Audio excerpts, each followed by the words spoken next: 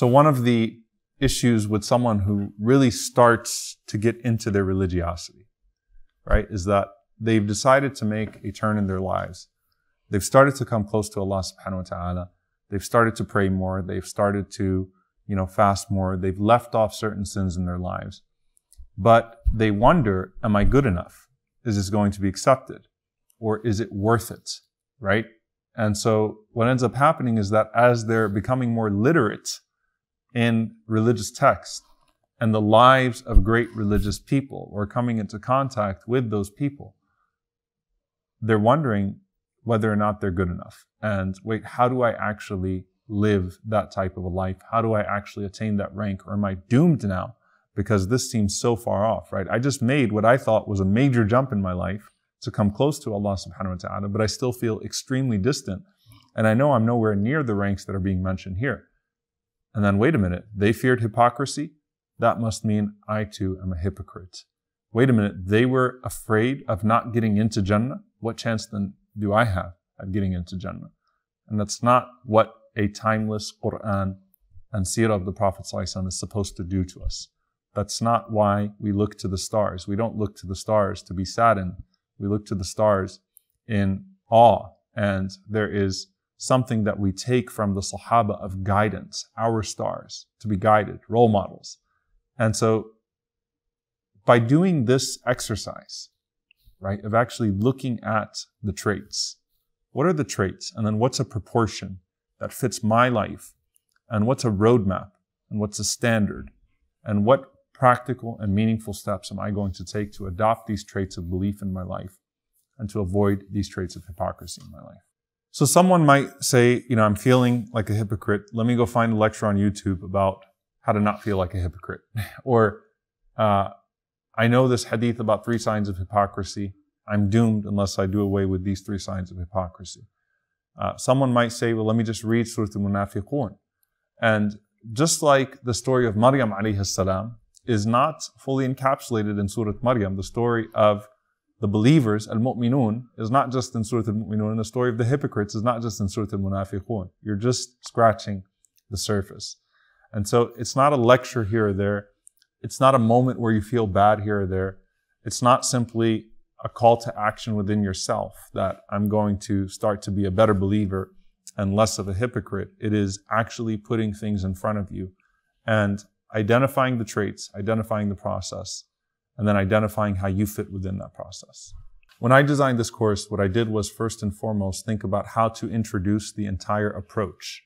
And so why is it that Allah's earliest address of the hypocrites does not use the word hypocrites?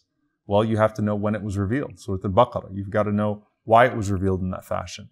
So giving an introduction to the entire concept of hypocrisy and the entire concept of belief, and then the practical manifestation of both, and then the seerah behind why the Quran was revealed in the stages that it was, and then what that stage means to us, what that graduality of how Allah addresses how hypocrisy was appearing in Medina means to us, for how hypocrisy gradually appears in our hearts and appears in our lives. The traits of belief stamp those out.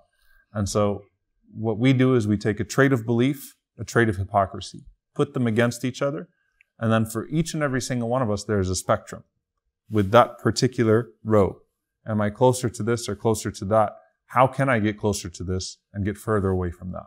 So I think in the COVID era in particular, and I'm sure that people are sick of hearing about the COVID era, but we have to admit that the long-standing consequences of it uh, are going to uh, probably show themselves for the rest of our lifetimes, both on a societal level and on an individual level.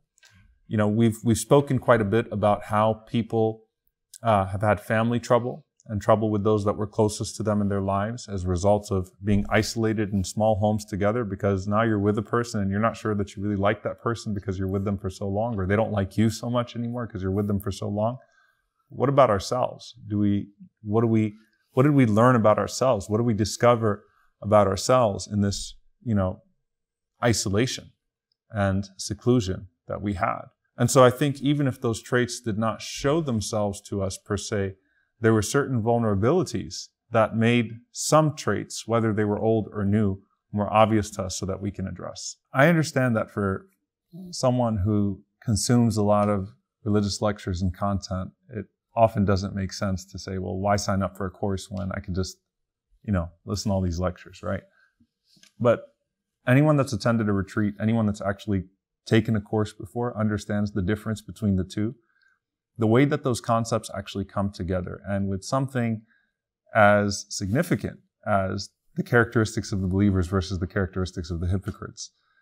Uh, you might get a khutbah or you might get something that you read on one of those characteristics, and that will be beneficial, inshallah ta'ala. In fact, of course, there will be some overlap sometimes between some of the content that I might be saying here and in a khutbah or in some other place. But to actually break things down in the way that you do in a course is very different. And so that's why I personally took so much joy in the preparation of this course and, and frankly benefited, uh, you know, from it myself. Because when you can put it all together, then you can actually line up the traits on both sides and say, all right, well, look, this is how much of this I have in my life, and this is how much of this I have in my life. I really want to be a complete manifestation of the column of belief and completely disavow the column of hypocrisy here. You don't want to be swaying between belief and hypocrisy or swaying between the traits of belief and hypocrisy, right? And sometimes we treat things, especially when it comes to spiritual illness, at a very surface level.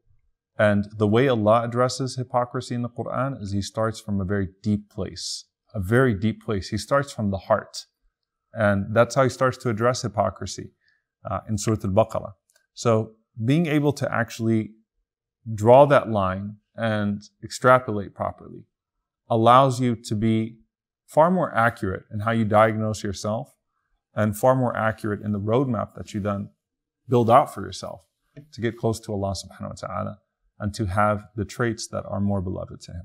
So I hope that you'll register now, inshallah ta'ala, and I look forward to seeing you in class.